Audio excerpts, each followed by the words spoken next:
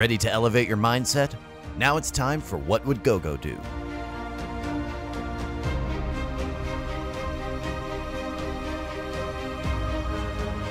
Tana Springer underscore realtor. What's the blueprint for the best team structure? So, Tana, to be honest with you, I'm not sure I qualify to answer this question. I have a cute little adorable team with two with three agents in Michigan called GRAT or Gogo's Real Estate Team. Here is my idea behind it. I never had the what I'm going to use the word idea again. I never had the idea of wanting to grow a mega icon team. I don't want to run an adult daycare. I am not the world's best manager by any means. Being Eastern European, I make people cry on a daily basis by noon, right? So I did not want to have a massive team ever. The reason why I have a team is because I want to, so said, monetize on my organic leads. So think of it this way. Even my team, I don't have an office, I don't buy leads, I don't have overhead. I like to joke and say, I don't even own a printer for my team, right? I don't even live in the state where my team is at. I live in Tampa or, or close to Tampa down here in Florida, but my team is up in Livingston County, Michigan. So, with that being said, my two cents on the subject is do it until it's very, very profitable. So, since I don't have expenses, any income that I make on the team, it's pretty much 100% profit for me right? So that's how I always build. I want to build businesses where I don't have a high cost. If you look at some of these mega icon teams or these brokerages, yes, they bring home millions of dollars in GCI, or I should say, they make millions of dollars of GCI. But if they break a 15 to 20% profit, they are balling.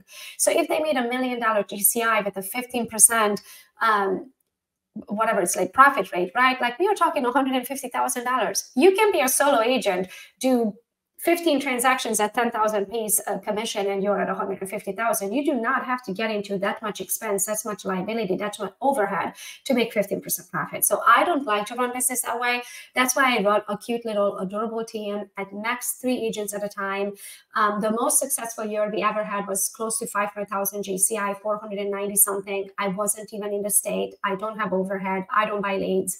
Um, and that's my story, and I stick to it, right? So I rather have a cute little team with much larger percentage of profit than a massive team with a lot of liabilities and overhead and 15% profit. So that's just me. How do I do the splits and the value add?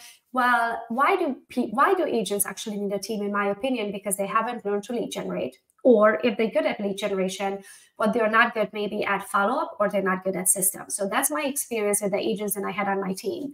Or they would they couldn't lead generate if you put a gun to their head, right? But they were really good at following through and getting the, the clients that we gave them and getting them to the closing table. Or they could get a clients left and right. But if you ask them if they wrote the addendum or when are, when are we closing, they couldn't answer you, right? Because they needed you for the structure. So I feel like there's two types of agents that are usually on a team.